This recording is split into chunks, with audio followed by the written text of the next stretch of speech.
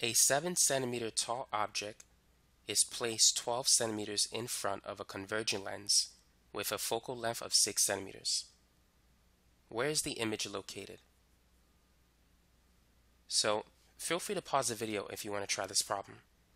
Now hopefully you saw my other video on spherical mirrors, which I go over how to use the mirror equation and also the ray diagrams for those problems as well. Hopefully you saw that video before watching this one. But let's jump right into it. So the height of the object is 7 centimeters, so that's HO. The object is placed 12 centimeters in front of the converging lens. So DO, the distance of the object from the lens, that's 12 centimeters. And the focal length of the converging lens is 6 centimeters. The focal length is positive for a convergent lens, but it's a negative for a divergent lens. So we need to determine where the image is located. So we need to calculate di, the distance between the image and the lens. So let's use the thin lens equation to accomplish that. So 1 over f is equal to 1 over do plus 1 over di. Now, in this example, the focal length is 6 centimeters, do is 12, and di, we don't know what that is. We're trying to find out. So 6 and 12 they both go into 12. So I'm going to multiply everything by 12 di to get rid of all fractions. So 12 di divided by 6 is 2 di. 12 di divided by 12, that's 1 di. And 12 di divided by di is simply 12. Now let's subtract both sides by 1 di.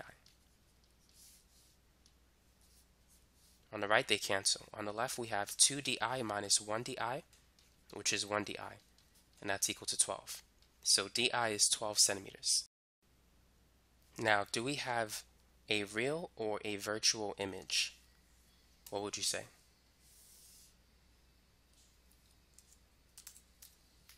Now, because di is equal to a positive number, the image is real.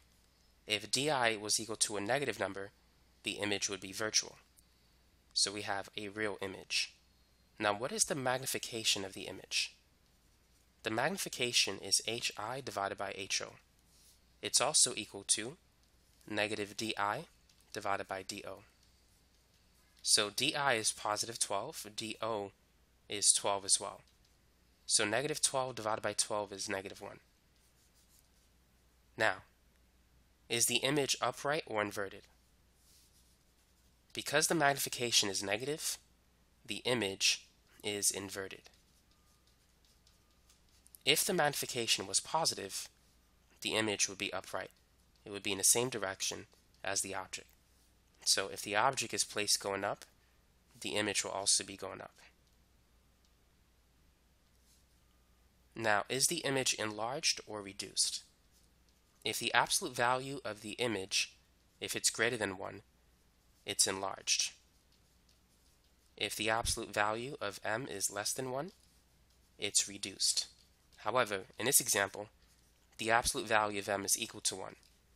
So it's neither enlarged or reduced. It's the same size. Now to calculate the height of the image, we can use this formula. So if you rearrange it by multiplying both sides by HO, the height of the image is equal to the magnification times the height of the object. So the magnification is negative 1. The height of the object is 7 centimeters. So the height of the image will be negative 7 centimeters.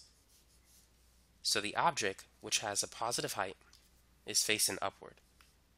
The image, which has a negative height, is inverted, is facing downward. Now what about part G? What is the power of the lens in diopters? The power is 1 divided by the focal length. So in this example, the focal length is 6 centimeters. But we need to get the unit in meters because diopters is meters to the minus 1. And so we got to divide 6 centimeters by 100. So 6 centimeters is 0.06 meters and 1 divided by 0.06 is 16.7 diopters or meters to the minus 1. So that's the power of the lens.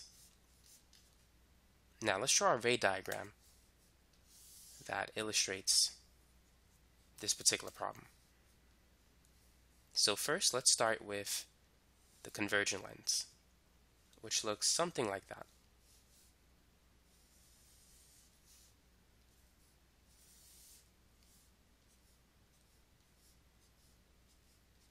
So the x-axis is the principal axis. And let's say this is the focal length. Let's make it equidistant on both sides. And so the object is going to be twice the focal length. It's at 12 centimeters and the focal length is at 6 centimeters. So this is the focal point. The focal length is the distance between the center of the lens and the focal point.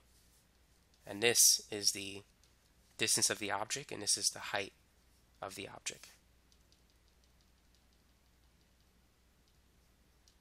So let's draw the first ray from the object to the center of the lens.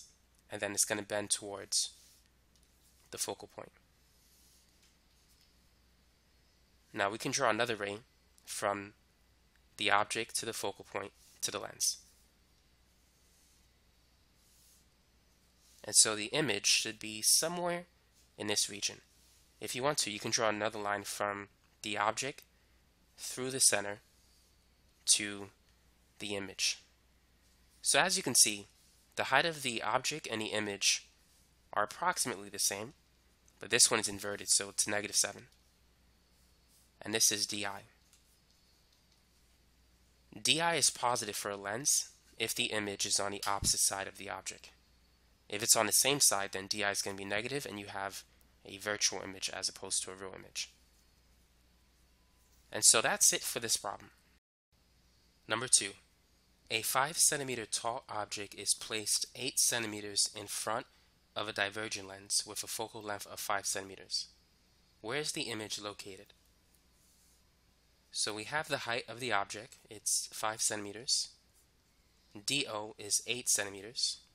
And the focal length is 5 centimeters. But since we're dealing with a divergent lens, we're going to use negative 5 centimeters.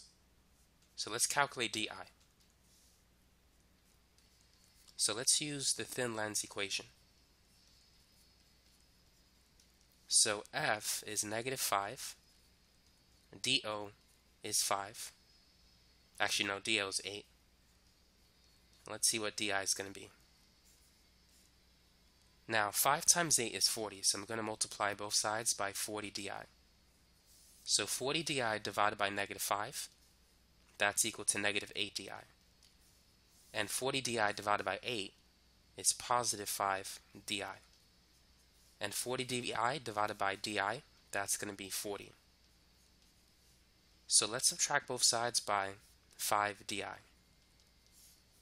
And so negative 8 minus 5 is negative 13. So negative 13 di is equal to 40. And now let's divide by negative 13.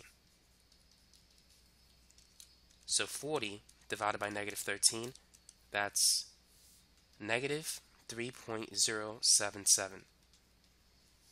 And so that's where the image is located. Now, do we have a real or a virtual image? Because di is negative, we have a virtual image. A diverging lens always produces a virtual image. Now let's calculate the magnification. It's negative di divided by do. So di is negative 3.077 and do is 8.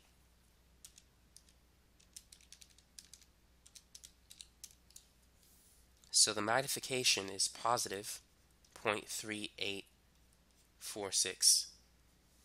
Now because the magnification is positive, the image will be upright. However, the magnification is less than 1, so the image is reduced in size. So now let's calculate the height of the image. So the height of the image is going to be the magnification times the height of the object. So it's 0.3846 times a height of 5.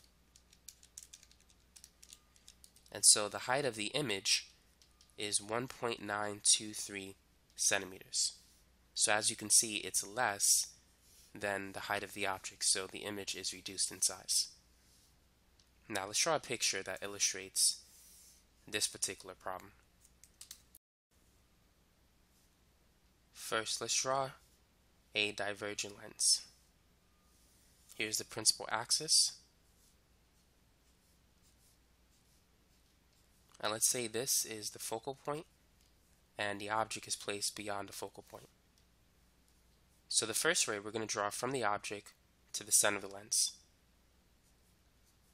And then it's going to bend in the direction of the uh, divergent lens. The second ray we're going to draw from the object through the center.